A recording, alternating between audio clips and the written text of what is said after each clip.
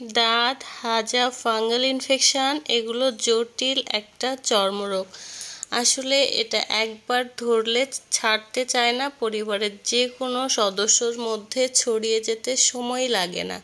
তো আজকে আমরা ঘরোয়াভাবে এর ট্রিটমেন্ট করব। ঘরোয়াভাবে যদি আমরা এটা রেগুলার ইউজ করি, এই রেমেডিটা তাহলে দাঁত, হাজা একেবারে গোড়া থেকে মরে যাবে, আর কখনোই হবে না। তো ভিডিওটি বেশি বেশি করে শেয়ার করার অনুরোধ রইল।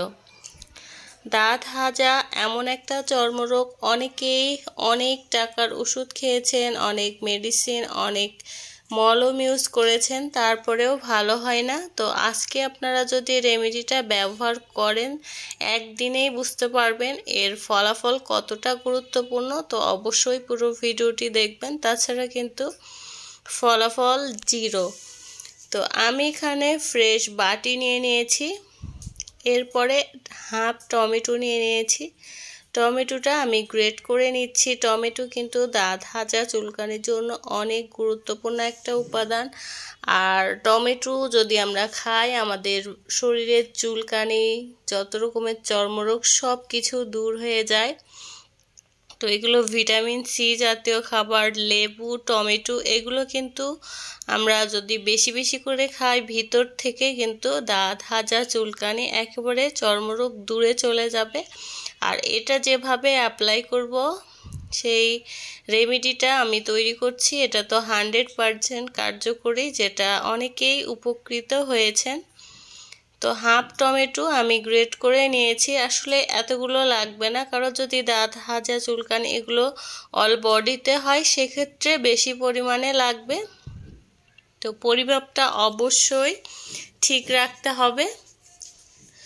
তো এখানে আমি যে টমেটো গ্রেট করে নিয়েছি, এখান থেকে আমি অল্প কিছু নিয়ে নিব। আপনারা চাইলে টমেটোটা পেস্ট করেও নিতে পারেন। তো এভাবেই হবে। তো আমি এখানে প্রায় এক চামচের মতো টমেটো নিয়ে নিয়েছি, দেখতে পাচ্ছেন। টমেটোর জুসটা কিন্তু আমাদের ত্বকের জন্য অত্যন্ত কার্যকরী। ত্বকে যদি ব্রণ, ফুসকুড়ি হয়, তাও দূর করতে সাহায্য করে। তো এখন আমি হাফ চামচ পরিমাণে হলুদ গুঁড়ো দিয়ে দিয়েছি। আপনারা অবশ্যই খাঁটি হলুদটা নেওয়ার চেষ্টা করবেন আর বাজারের ভেজাল হলুদ নিলে কিন্তু কাজ করবে না। তখন আপনারা কমেন্টে এসে বলবেন যে কাজ হলো না। তো যে উপাদানগুলো ব্যবহার করতে হবে সেগুলো অবশ্যই খাঁটি নেওয়ার চেষ্টা করতে হবে। ভেজালযুক্ত কোনো জিনিস নিলে আপনারা ততটা ভালো রেজাল্ট পাবেন না। তো এ পর্যায়ে এখন আমি যেটা নিচ্ছি সেটা হচ্ছে অ্যালোভেরা জেল। অ্যালোভেরা জেল, দাঁত হাজা, চুলকানির আসলে জম বলা হয়। আর যে উপাদানগুলো দিচ্ছি প্রত্যেকটাই কিন্তু দাঁত হাজা চুলকানির যে কোনো চর্মরোগের জন্য অত্যন্ত কার্যকরী। তো অ্যালোভেরা জেল দিয়ে দিয়েছি। গাছের অ্যালোভেরা থাকলে আপনারা ইউজ করবেন, তাহলে কিন্তু আরও ভালো ফলাফল পাবেন। হাফ চামচ পরিমাণে অ্যালোভেরা জেল দিয়ে দিয়েছি। অ্যালোভেরা জেল কিন্তু রাত হাজা চুলকানির জায়গা ঠান্ডা করতেও সাহায্য করে। এমনকি পরবর্তীতে যে দাগ হয়ে যায় সেই দাগটা দূর করতেও কিন্তু হান্ড্রেড পারসেন্ট কার্যকরী একটা উপাদান। আর আমি যে উপাদানগুলো দিচ্ছি, অবশ্যই সবগুলোই দেওয়ার চেষ্টা করবেন। তো আমি এখন দিয়ে দিচ্ছি কর্পূর। কর্পূর আপনারা যে কোনো বড় বড় দোকানে কর্পূর বলে চাইলেই পাবেন। কর্পূর কিন্তু যে কোনো চর্মরোগের জন্য হান্ড্রেড পারসেন্ট কার্যকরী একটা উপাদান। এখানে আমি যতগুলো উপাদান দিয়েছি, তার মধ্যে কর্পূরটাই হচ্ছে অনেক ভালো কাজ করে দাঁত হাজা চুলকানির জন্য। তো অবশ্যই আপনারা কর্পূরটা কিন্তু স্কিপ করবেন না। যে উপাদানগুলো দিয়েছি এগুলোর মধ্যে দু একটা স্কিপ করলে করতে পারেন, কিন্তু কর্পূর দিয়েছি এটা কিন্তু কখনোই স্কিপ করা যাবে না।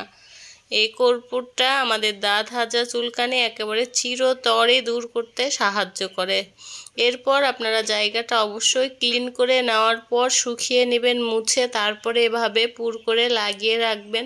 রাতে অ্যাপ্লাই করবেন সারা রাত রাখার চেষ্টা করবেন, তাহলে ভালো রেজাল্ট পাবেন। প্রতিদিন লাগাবেন, যতদিন দাঁত হাজা, চুলকানি, চর্মরোগ ভালো না হবে, ততদিন পর্যন্ত আপনারা অ্যাপ্লাই করবেন। আশা করছি ইনশাল্লাহ আল্লাহর রহমতে ভালো রেজাল্ট পেয়ে যাবেন। তো এ ধরনের ভিডিও পেতে আমার চ্যানেলটি অবশ্যই সাবস্ক্রাইব করে পাশে থাকা ছোট্ট বেলাইকনটি অন করে দিবেন। যারা ফেসবুক পেজে আছেন পেজটা ফলো দিবেন এবং ভিডিওটি বেশি বেশি করে সবার সঙ্গে শেয়ার করুন